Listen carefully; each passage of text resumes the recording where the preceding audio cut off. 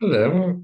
In this video, I'll talk about the fears of AI. There are a lot of fears with AI, and unfortunately, a lot of times with new technology, it can be applied in good and negative ways. Prime example, the atomic bomb, atomic energy. So, how is AI going to turn out?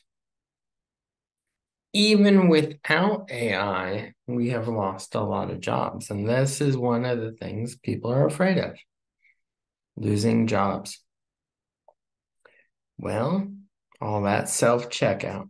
A lot of people um, want this. I don't know. Um, seems like we're more and more into less human contact. That's um, you know, I was a big resistant to uh, texting at first. It was like I wanted to actually talk to people, but it's like everyone you gotta text them now, and nobody communicates any other way. And it's like everyone's a CEO of uh, some big corporation of some sort, but somehow that doesn't seem to be, but nevertheless. So AI, yes, even without it, we have lost a lot of jobs just from the self checkout. And a lot of jobs being threatened. Even without AI, self driving cars, get rid of um, truck drivers. So that is one area that concerns people about AI is the jobs. The other part is um, it being used to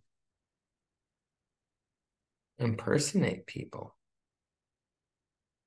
See, AI can look like you, sound like you, talk like you, and it could be used, as I read, the end of a political campaign, you could have an AI looks like you, sounds like you, say something or do something, hidden camera, whatever, that will destroy the campaign. And there's not enough time to disprove this. So this could have dire consequences on elections in various parts of the world. Or make your political opponents look bad. And by the time the truth comes out, election's already over. So this is a possible concern that could happen anywhere in the world. That's another one. One that makes me scared. Um, there's a race to use AI in the military. Well, an AI is not going to distinguish between civilian targets and military targets. And as AI improves, it may make its own decisions. What if AI is since we're getting more and more into uh, using it for the military, self flying warplanes, aircraft carriers, etc., that is coming out. All countries are doing this. It's advancing extremely fast. Tests are being done. Progress is being made.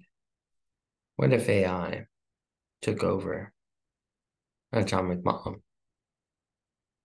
And did not have the hesitation of the consequences of it. Could just take one of those dropped by AI that could cause a trigger effect and not enough time to evaluate that was AI's fault, etc. And AI started a nuclear war. This is something that concerns me. So these are some of the aspects that concern a lot of people about AI. If there's something here that I should have mentioned that I didn't mention, please let me know in the comment section. And let's have conversations about these things. But nevertheless, in the next video, I will talk about the AI lawyer. This is something that I was shopping and just thinking about AI, and I came up with this concept of the AI lawyer. So, anyways, that will be the next video. If this video got you to think, it's good to be aware, not freak out. Some usually what's going to happen is somewhere between our greatest fears and our biggest dreams of what AI could be positively and negatively. Usually these things somewhere fall somewhere in the middle of those two perspectives.